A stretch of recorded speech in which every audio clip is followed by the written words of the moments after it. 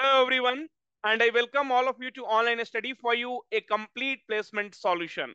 Friends, this is Pratik Srivastava here and all the question in our today's video we are going to solve under 30 seconds with the help of shortcut methods. And all this question has been asked in the placement examination like Accenture, TCS, Wipro, Tech Mahindra. So I request all of you to watch the video till the end. And if you are preparing for Accenture, DXC Technology, TCS, Wipro, then this video is going to help a lot. Now let us start with question number one. Two men and three women can complete a piece of work in 15 days. Okay. Then six men and nine women will be able to complete the work in how many days? Now, if we'll try to analyze, this is nothing but three times. This is also three times. So days and divide by the multiplication factor. So it will become five days and you can tick the answer here. Five days will become the correct answer. Now, question number two. Six men and eight women can complete a work in 10 days. Then 15 men and 20 women will be able to complete the work in how many days now? So if we try to analyze 6 to the 12 and half of 6 is 3. So 15. That means it is getting multiplied by 2.5 at both the places. Now, total number of days and divided by 2.5. 2.5 you can also write as 5 by 2. So 2 will go up. 5 to the 2 into 2 is 4. 4 days will become the correct answer. Now question number 3. The ages of A and B are in the ratio of 3 is to 5. 9 years ago, A and B was in the ratio of 12 is to 23. What is the present age of A? So before I solve friends, I wanted to tell you. So if A and B is, is 3 is to 5, right? Then, so you can assume A is equals to 3x and B will be equal to 5x. That means whatever A age will be, it will be factor of 3. So it depends upon the value of x. If x is 5, A will become 15, right? So if x is 7, A will become 21. But whatever it is, it will be factor of 3 and B will be factor of 5. Now what they're asking, what is the present age of A? Now, so friend, present age of A will be definitely a factor of 3, a multiplication of 3. So option C and option D is eliminated because it is not a factor of 3. Now we have two options, 27 and 33, right? Both the options are divisible or a factor of 3. Now, 9 years before, so let us go 9 years before. So 9 years before it will become 18 and this will become 24. So 9 years before, A age was like in the factor of 12. So which one is in factor of 12? Definitely this particular one, 12 into 2, 24. That means option B will become the correct answer. Even you do not have to use pen and paper to solve this question. Okay. Now, question number four. The respective ratio of the present age of mother and daughter is 7 is to 1. Four years ago, the respective ratio was 19 is to 1. What will be the mother age from four years now? Now they're asking what will be the mother age four years now, right? Four options has been given 42, 38, 64 and 36, right? So what we will do, we will subtract 4 from here, right? Because we have the present ratio, right? Present age ratio we have. So we subtracted, right? So we subtracted 4 from everything, right? So this is 46. So this will become 42 and this is nothing but 32, right? Okay, now, so we subtracted, right? 4, that means we got the present age. Now, so mother present age is in the factor of 7. So obviously this particular option 42. That means option C will become the correct answer, right? Friends, I'm telling you, you do not have to even use pen and paper for this. Now, what is the remainder when? So this problem is literally right. So you will feel it very, very tough, right? If you have not solved it earlier or if you don't know the tricks now. So you have to divide by 100 and then you have to tell the remainder. Now, so friends, 100 is here. Just try to find if you can get 100 from the numerator. So see, 1 5 we can get from here, right? And 1 5 we can get from here. And this 96 you can write 4 into 24. That means you have, see, you have 5, you have 5, you have 4. 5 into 5, 25, 25 into 4 will be 100 and denominator we have 100. So definitely it will give you 0 as a remainder, right? Okay. Now, friends, if you want to learn the shortcut methods or if you want to crack any placement examination, then we have started two weeks aptitude and reasoning workshop and here you'll be getting the certificate also, right? And the price is very much nominal, just 199 rupees. The link to enroll is in description. Friends, you will be able to understand how to attempt the question, what are the shortcut methods you can use uh, in the examination to solve the aptitude question and timing is 7 p.m. to 8 p.m. daily, right? It's a two week starting from 2nd of August, right? So starting from 2nd of August, do enroll. Recording will be available on daily basis. These two weeks will definitely change a lot of, you know, uh, I mean, lot of changes will happen in you. So you will completely change the way you solve maths. And if you hate ma maths, then after this workshop, you will start loving maths and reasoning. That is my promise, right? So you can also see the review of the classes, right? Okay. So anyway, now let us question number six. So what is the remainder if 2 to the power 192 is divisible by 6? See, this might be like this also 192, 4, 5, 6, 7, 8, right? 4. So this might be also this question. Friend, no need to worry about that. 2 cube by 6 and you take 2, 4 by 6. So 2 cube will be 8, 8 by 6, remainder will be 2 and 2 to the power 4, 16, 16 by 6. So remainder will be 4. That means if 2 to the power even and if you're dividing by 6, you will be getting remainder as 4. And here you see this is even number. This is also even number. In both the cases, remainder will be 4. Option D will be the correct answer, right? So, but definitely you have to solve few questions based on that. Now, a sum of money double itself in three years. So suppose you are investing, right? So suppose you are investing 100, it is becoming, right? Double. That means it is becoming 200, right? Okay. Now, it will amount to 16 times okay it will amount to 16 times itself at the same rate of interest in how many years okay so now so basically if you're investing 100 rupees so how in how much time it will become 1600 rupees right so this is with the data i have taught you now let us understand so suppose you invested p rupees and it is becoming double means it is becoming 2p in how many years in 3 years right now they're asking so how much time it will take to become 16 times right that means you are investing P and in how much time it will become 16P. So 16P is nothing but 2 to the power 4P, right? And now here you see 2 to the power 1 and here you see 2 to the power 4. How many times? 4 times, right? How many times? 4 times. So multiply with this years, right? So 4 into 3, 12. 12 years will be the correct answer. That's all, right? So you could have solved it very easily and even in mind itself, I will show you how. Friends, right, see double. Double means what? Double means 2 to the power 1 and uh, 16 times means 2 to the power 4, right? and the year is nothing but 3. So 4 into 3, it will become 12 years. That's all. You're, you are done with the answer. Okay. Now, next. Friends, question number 8. A sum of money triple itself in 4 years. That means you are investing 3 and it is becoming 3p. Right? It will be amount to 81 times itself at the same rate of interest in how many years? So now if you invest p, in how many years it will become 81p, right? So 81 is nothing but 3 to the power 4, right?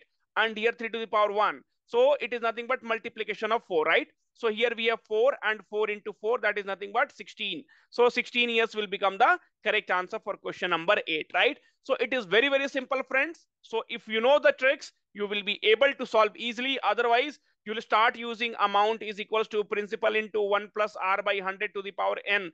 Friends, you give these problems to your friend and then you see how much time they take to solve this kind of problems, right? Okay, now Friend, question number nine. And also in my classes, I will not teach you any formula, right? So in many uh, YouTube channels or in many classes, you will see that they will tell you the shortcut formulas. If you are using formula, it is not shortcut because it, you know, when problems will vary, your solution will also vary and you will be getting the wrong answer. Now, a dealer sells item at 20% profit and uses a weight which is 10% less than the actual. Okay. Now, Friend, the very first thing is, so if you keep this concept in your mind, the problem will become very, very simple. So if your option is given in terms of percentage, then you can assume any value. So suppose, right? So suppose you in you you know purchased 100 gram for 100 rupees, right? You purchased 100 gram for 100 rupees. So your cost price is nothing but 100 rupees, right? And a dealer is getting a profit of 20%. 20% is what? That means the dealer is selling for 120 rupees, right? So cost price I assumed, right? 100 gram, 100 rupees, right? And selling price 20% profit means 120 rupees, 120 rupees, right? Okay, now. So it, it has been told in the question, the dealer is using 10% less weight, okay?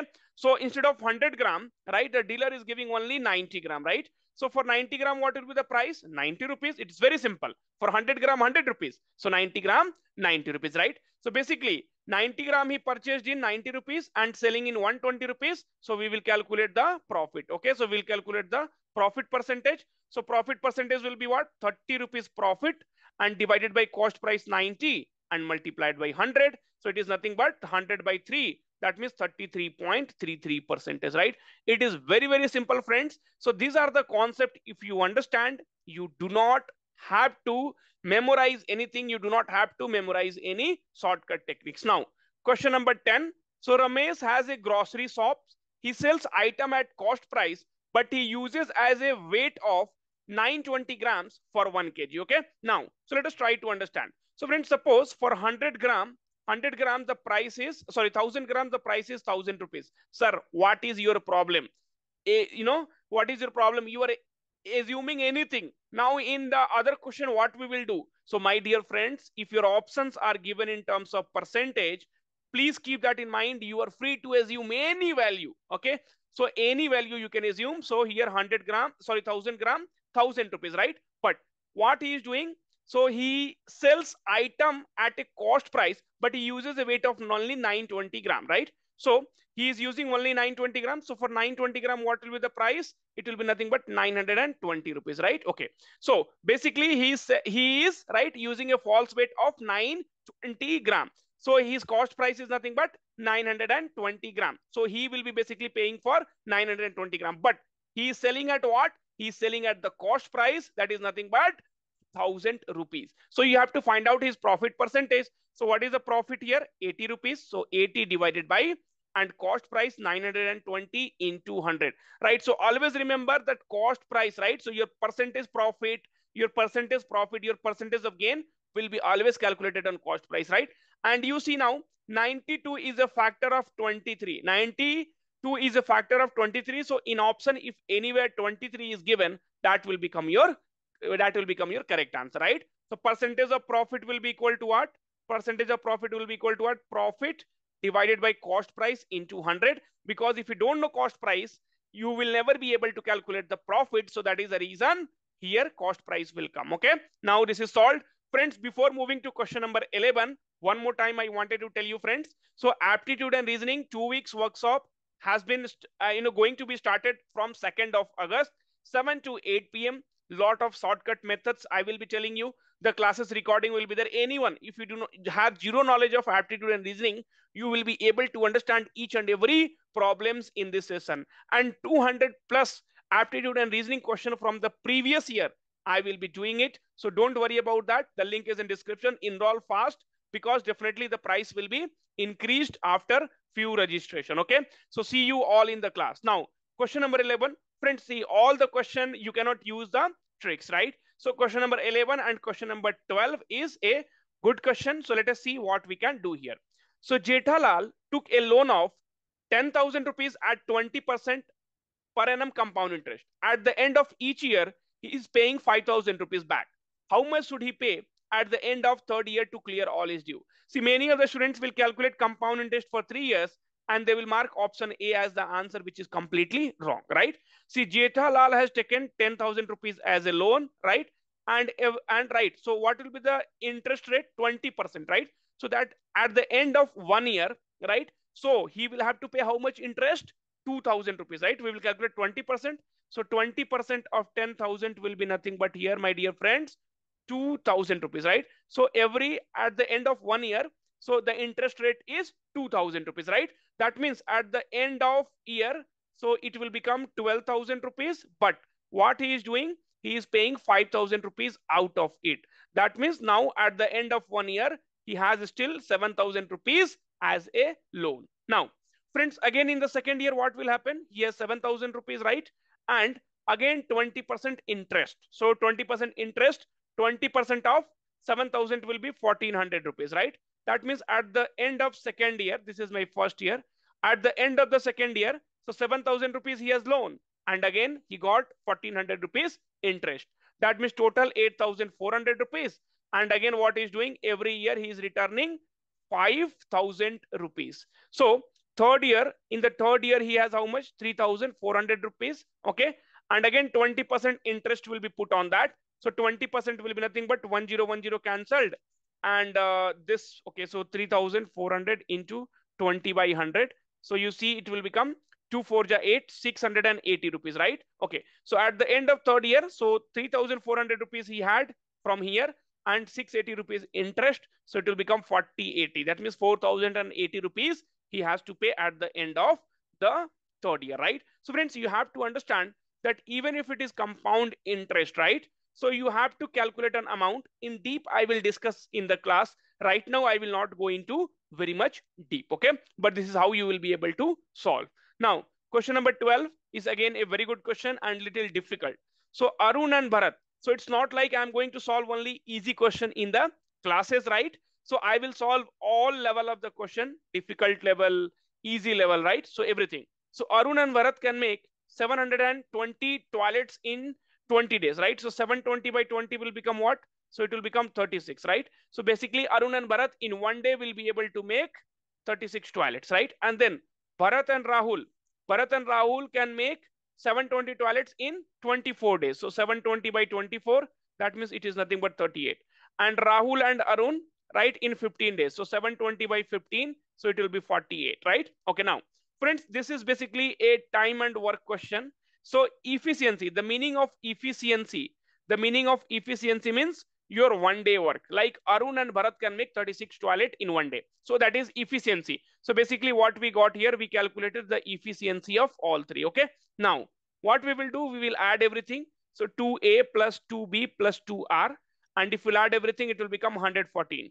So A plus B plus R will be nothing but 114 by 2, 114 by 2, which is 57. Okay. Now, so we have got the efficiency of Arun, Bharat and Rahul.